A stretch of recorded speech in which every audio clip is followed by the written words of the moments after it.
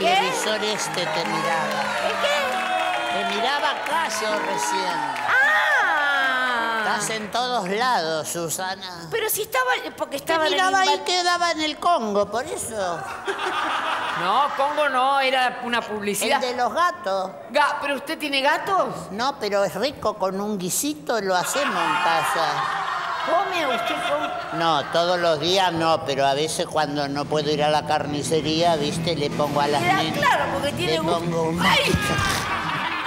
un poquito de Congo, Es la ¿viste? primera vez que cayó con las piernas abiertas. Ay, no digas así, Pero así, Susana. abuela, la primera vez. ¿Qué van a pensar de mí No, ahora? pero fue- cayó así.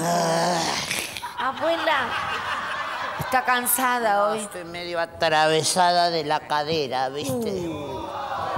Por la humedad. Y es- ¿viste? pero, ay, abuela, pero hoy no hay ¿Vos humedad. sabés que una flor que tenés ahí parece un preservativo? Mira. Esta flor de ¿Cuál, acá- abuela? Cuidado, no se vaya a caer. Esta ¿Cuál? de acá adelante, ¿no parece transparente? Bueno, sí. eh, Hay unos color rosa que usan la, la Yasmín, le usa estos. ¿Usted se los vio? No, yo se los compro. ¿Cómo se los Y compra? para que se cuide, Susana. Bueno, sí, bastante. Imaginá, ya- Es bastante inteligente. Una vez que está aceptado el asunto. Ya tú- Ay, cuidado, abuela.